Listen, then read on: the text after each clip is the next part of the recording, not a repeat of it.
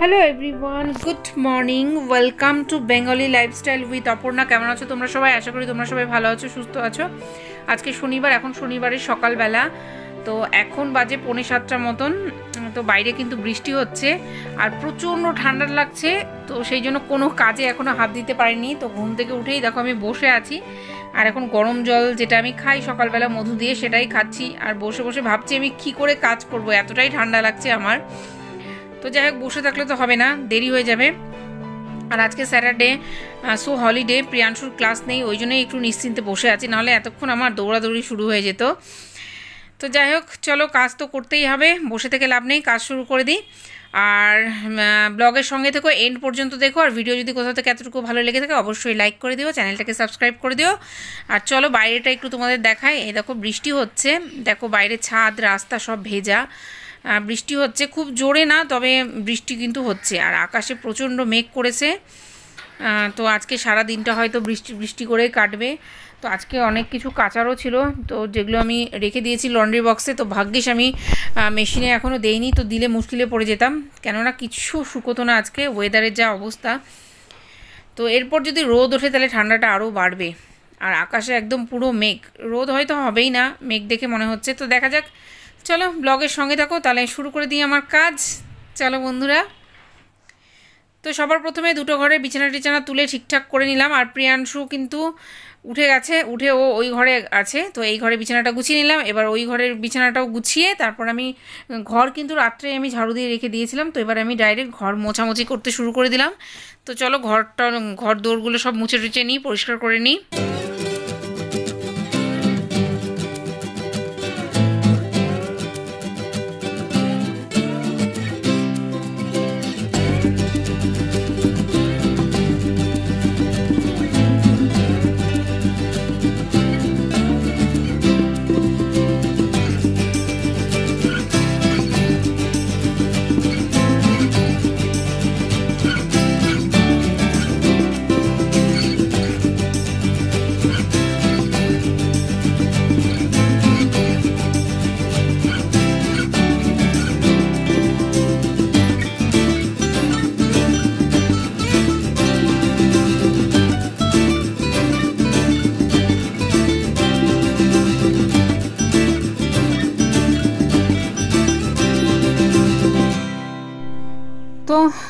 ঘরটর মুছে এবারে বসে গেছি। চা খেতে একটু আরাম করে বসে বসে চা খাব।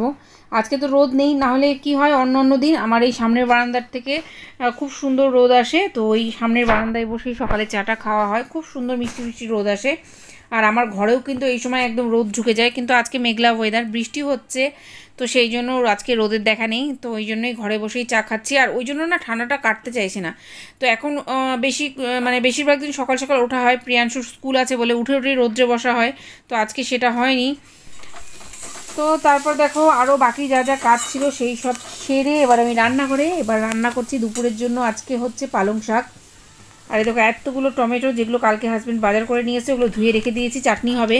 আর এদিকে পালং শাকের জন্য বড়ি ভেজে রেখে দিয়েছি, পালং শাক কেটে রেখে দিয়েছি, ওদিকে আলু, বেগুন ভেজে নিচ্ছি, পাঁচ ফোড়ন লঙ্কা ফোড়ন দিয়ে। তা মূলো টুলো দিলে আর একটু টেস্টি হয়। তো তারপর শাকগুলো দিয়ে দেবো, নুন, হলুদ দিয়ে দিয়েছি। দিয়ে তারপর ভালো করে শাকটা যখন হয়ে যাবে তখন বড়িগুলো দিয়ে নামিয়ে নেব। বেশ ভালো লাগে এইভাবে নিরামিষ পালং শাক খেতে। আজকে যেহেতু শনিবার, তো ফুল ভেজ নাহলে পালং শাক কিন্তু মাছের মাথা দিয়ে করলেও খুব ভালো লাগে।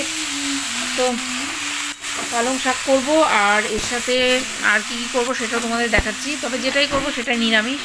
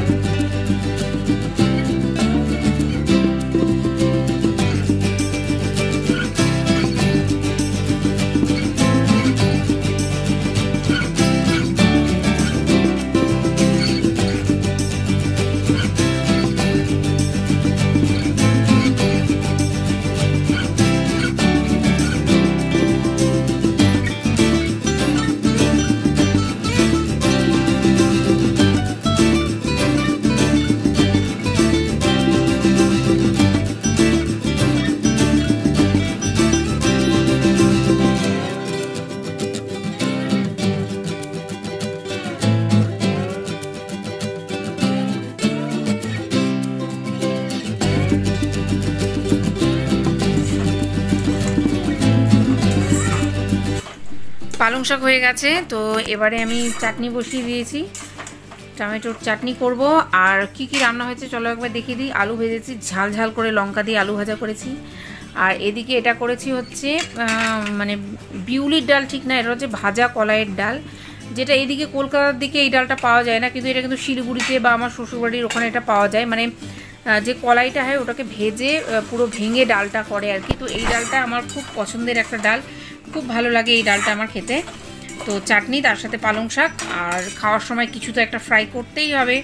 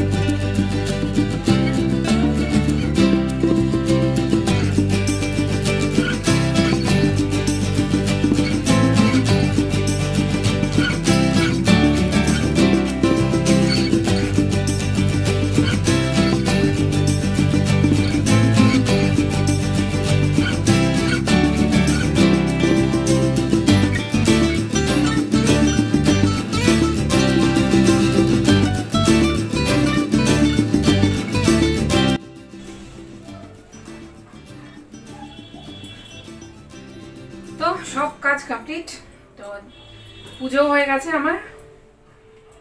তো এবার একটু রেস্ট তারপরে আবার দুপুরে খাওয়া দাওয়া।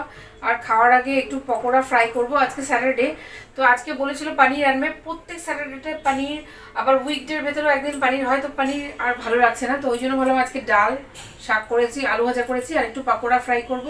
তার সাথে ঘি আছে বা লেবু আছে, আর চাটনি করলাম, এই সব দিয়ে হয়ে যাবে। পানির আর করলাম না, পানির রাত্রে করব, রুটির সাথে পানিরের কিছু বানিয়ে নেব এটা আর কি। পানির আনা হয়ে গেছে, কিন্তু আমি বানাইনি। পানির শনিবার মানে পানির আসবেই। তো ফ্রিজে রেখে দিয়েছি, ওটা রাত্রে কিছু করব। আর মানে খুব ঠান্ডা লাগছে, জানো তো? স্নান করে পুজো করতে বসেছি, আমি পুরো কাঁপছি, কেননা আজকে ওয়েদারটাই এরকম। মাঝখানে বৃষ্টি কমে গিয়ে আবার একটু রোদ বেরোলো, তাতে ঠান্ডাটা আরও বাড়লো আর কি। তো এখন বাজে সাড়ে এগারোটা প্রায়।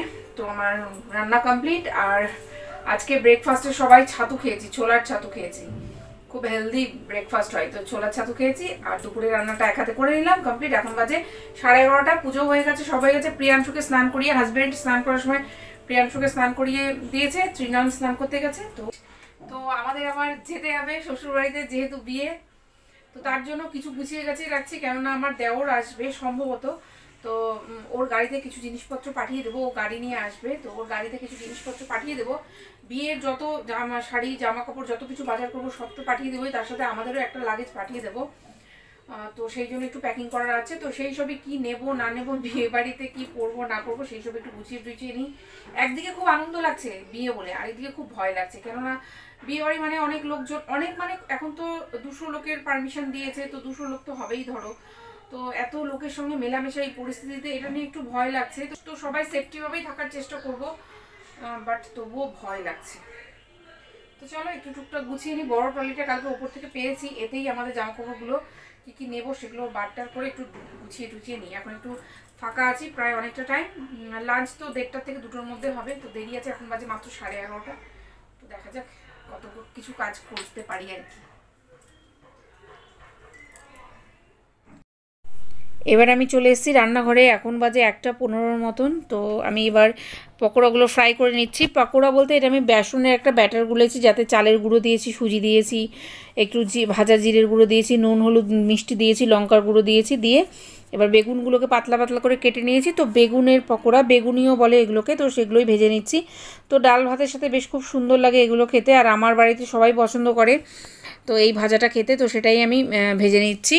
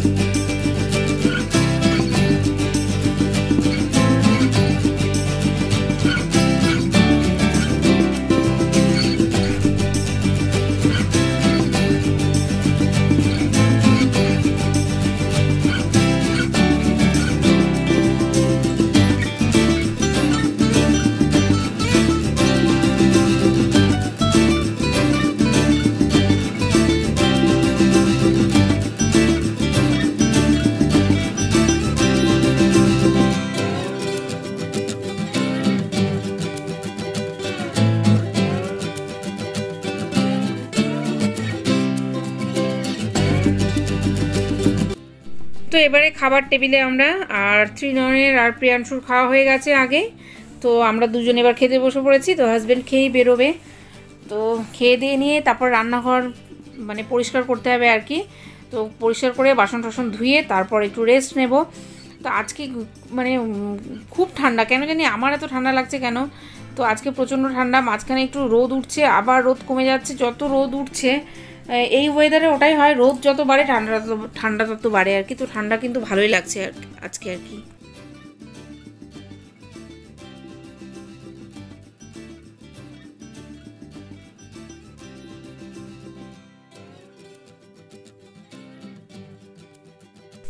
তো খাওয়া দাওয়া কমপ্লিট রান্নাঘরের কাজও আমার কমপ্লিট হয়ে গেছে। তো এখন বাজে দুটো, তো ভাবলাম হাতে কিছুটা সময় আছে, তো এখন প্রিয়াংশুকে নিয়ে একটু বসেছি। ওর সারগামগুলো সব প্র্যাকটিস করানোর জন্য, কেননা দুদিন ধরে ও একদমই গানে বসেইনি। তো না হলে সব ভুলে যাবে, ওই জন্য ওকে নিয়ে একটু বসেছি। তো ও এগুলো সব প্র্যাকটিস করে নিই তারপর রেস্ট নেব। আর বন্ধুরা, চলো আজকের এই ভিডিওটাকে এখানে এন্ড করছি, ছোট্ট ভিডিওটা এখানে এন্ড করছি। তো ভিডিওটা আজকে এডিট করে আজকেই পোস্ট করে দেবো। তো আশা করি ভিডিও যদি তোমাদের ভালো লেগে থাকে আশা করি ভালো লাগবে আবার না কারো কারো নাও লাগতে পারে যদি ভালো লেগে থাকে যাদের ভালো লাগবে অবশ্যই লাইক করে দেবো চ্যানেলটাকে যদি সাবস্ক্রাইব না করে থাকো অবশ্যই সাবস্ক্রাইব করে দেবে আর কমেন্ট করতে একদম ভুলবে না প্লিজ কমেন্ট করো আর আমিও চেষ্টা করব তোমাদের রেগুলার কমেন্টের রিপ্লাই দেওয়ার জন্য আর আমি ভয়েস ওভার করছি প্রিয়াংশু এখানে তোমাদেরকে কিছু বলবে কথাটা শোনো প্রিয়াংশু दोस्तों सब्सक्राइब से शेयर कर देना ठीक है दोस्तों सब्सक्राइब और शेयर कर देना ठीक है তো প্রিয়াংশুর কথা মতন সাবস্ক্রাইব করে দিও আর শেয়ার করে দিও। চলো tata Babai take care see you again next blog Babai Babai good night see you again good night না গুড আফটারনুন গুড আফটারনুন